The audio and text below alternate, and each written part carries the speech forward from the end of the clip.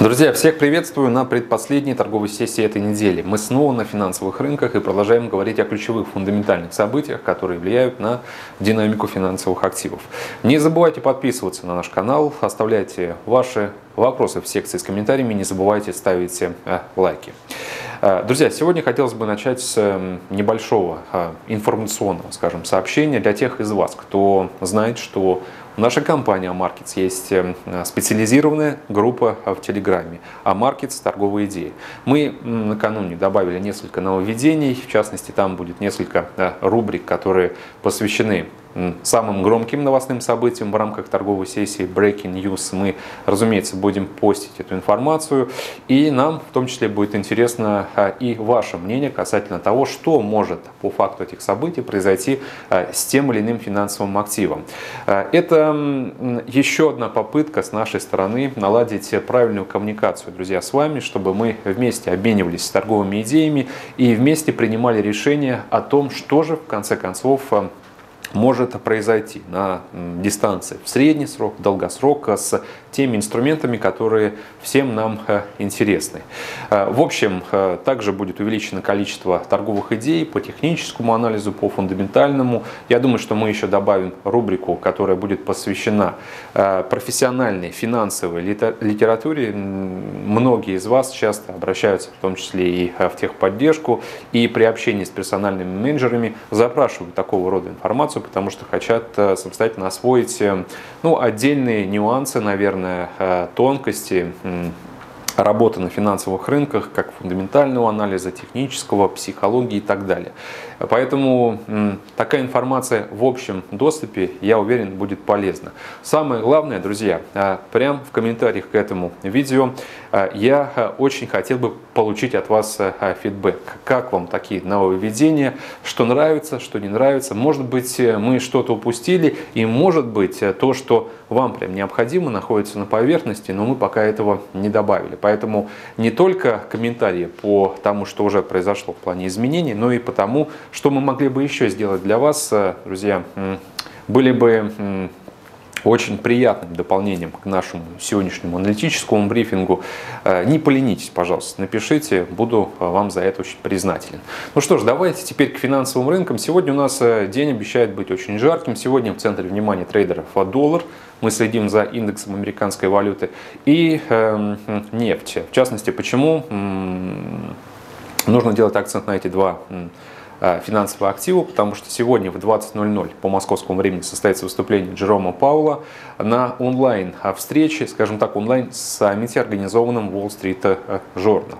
Э, и эта встреча, э, этот саммит точно прольет свет на перспективы Э, будущей политики американского регулятора, особенно с учетом последнего роста доходности американских облигаций. Мне как э, трейдеру, как э, спекулянту и тому, кто интересуется вообще финансовыми событиями, очень интересна обновленная позиция и точка зрения Паула касательно того, угрожает ли рост доходности американских трежерей экономическому росту США. И как, собственно, Паул прокомментирует все это, а, от этого будет зависеть э, конечная реакция трейдеров и то, что произойдет э, с долларом. Забегая вперед, могу сказать, друзья, то, что перед выступлением Павла, конечно же, мы должны снова пробежаться как бы крупными мазками по тому фундаментальному макроэкономическому фону, который сложился. Тем более, что вчера было опубликовано два очень важных отчета. Это отчет, который предваряет Non-Farm Payroll, статистика EDP по состоянию американского рынка труда. Я надеюсь, вы цифры уже все посмотрели, увидели. Э, Э, данные плохие. Плюс 117 тысяч э, новых рабочих мест, с прошлого показателя 195 тысяч. Э, соответственно, при сохранении корреляционной связи между отчетом ADP и Non-Farm Payrolls, которая выйдет уже завтра, можно сказать, что официальная статистика также, скорее всего, разочарует. Еще один важный отчет – это ISM в сфере услуг 55,3, снижение с 50 8,7. Да, индекс остается выше 50, и это подтверждение того, что все-таки сектор восстанавливается. Но траектория здесь уже нисходящая. Кто знает, может быть, э, совсем скоро за промышленностью, в принципе, индекс сферы услуг также кажется уже в зоне стагнации, граничащей с зоной рецессии.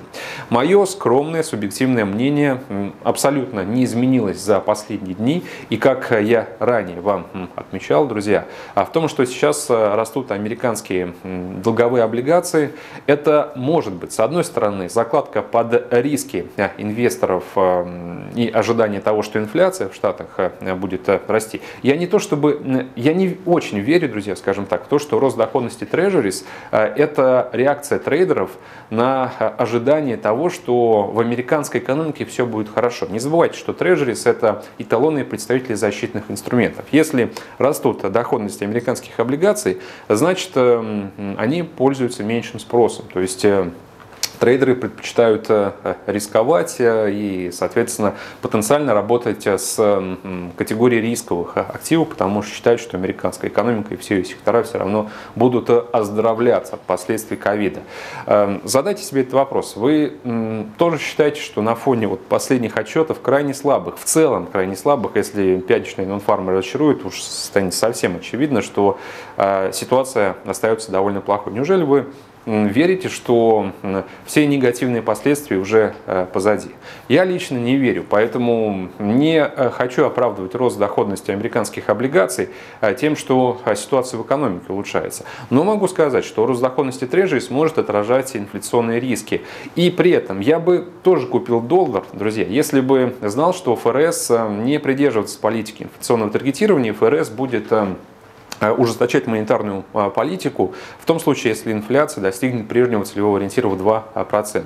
Но много раз я вам уже говорил, что сейчас э, другой подход регулятора к контролю за инфляцией и не будет ужесточения монетарной политики, не будет повышения процентной ставки и выхода из программы количественного смягчения, когда индекс потребительских цен упрется в показатель в 2%. Поэтому я довольно спокойно отношусь сейчас к росту доходности трежерис, знаю то, что в конце концов через какое-то время время при неизменности текущего новостного фона э, по этому показателю, то есть э, показателю э, прибыли по этим облигациям, мы увидим цифры гораздо ниже текущих значений, и все вернется на круги своя. В частности, индекс доллара пойдет на снижение, которое я прогнозирую очень и очень давно, и мы видим действительно то, что индекс доллара неоднократно бился в поддержку 90 пунктов, но потом последовало локальное восстановление. Главное событие фундаментально впереди, 14 марта дедлайн принятия новых мер фискального стимулирования. Я жду их, так же, как и вы, друзья.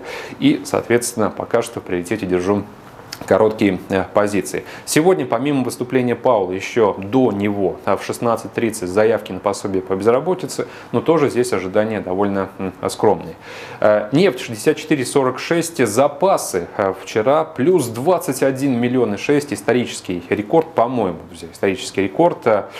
Э, ну, действительно, сумасшедшая цифра, хотя рост запасов, э, он, конечно же, обусловлен, ну, такой рост, э, последними событиями с аномальными морозами в Техасе, где сконцентрировано наибольшее количество нефтеперерабатывающих предприятий из-за того, что они, по сути, вынужденно свернули свою деятельность в этот период, практически в две недели, переработки в прежних показателях не было. И рост запасов сейчас является логичным. Но если все-таки убрать этот форс-мажорный фактор, запасы все равно бы выросли, пусть на э, символичное значение. И это можно было бы воспринимать в качестве негативного фактора для котировок нефти. Сегодня, как я уже отметил, мы следим не только за долларом, но и за нефтью, потому что сегодня будут приняты решения э, по тому, каким уровнем нефтедобычи будет характеризоваться все усилия ОПЕК+, по поддержанию баланса на рынке углеводородов. То есть сколько нефти будет добывать Эм, будут добывать участники энергетического пакта со следующего месяца. Я по-прежнему склонен полагать то, что сегодня мы услышим о том, что производство нефти будет увеличено на 500 тысяч, а Саудовская Аравия дополнительно э, снимет себя добровольное обязательство по сокращению добычи на 1 миллион. Вчерашний рост нефти как раз был обусловлен тем, что появились слухи, что э, страны не будут увеличивать производство нефти, а сохранять текущие квоты. Но я в это особо не верю. Поэтому настроен все-таки до конца сегодняшнего дня увидеть нефть гораздо ниже текущих значений. И по остальным активам евро против доллара 1.2054 мы снова вернулись к поддержке 1.2050. Снова я в очередной раз э, рекомендую вам смотреть за текущим курсом выше отметки 1.20 и ближе к этому психологическому рубежу, как э, к очень перспективной точке входа в длинные э, позиции. Не будем сейчас негативить по поводу новых штаммов как бы нигерийского вируса в Италии, который характеризуется какой-то повышенной мутацией и стойкостью э, перед всеми э, известными на данный момент э, вакцинами. Надеюсь, то, что третьей волны ковида не будет, хотя многие вирусологи Италии уже поговаривают о том, что она началась. Кстати говоря, это еще один вопрос. Как вы считаете, эм, станем ли мы свидетелями действительно вот такого развития событий? И накроет ли мировую экономику еще одна волна коронавирусного э, кризиса? Фунт против доллара, короткие позиции пока в приоритете, как мы ожидали.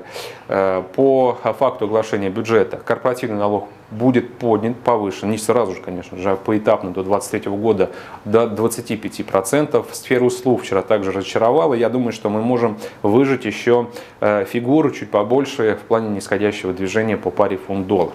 Австралийский против доллара, длинные позиции в приоритете, американский фондовый рынок 3800 пунктов.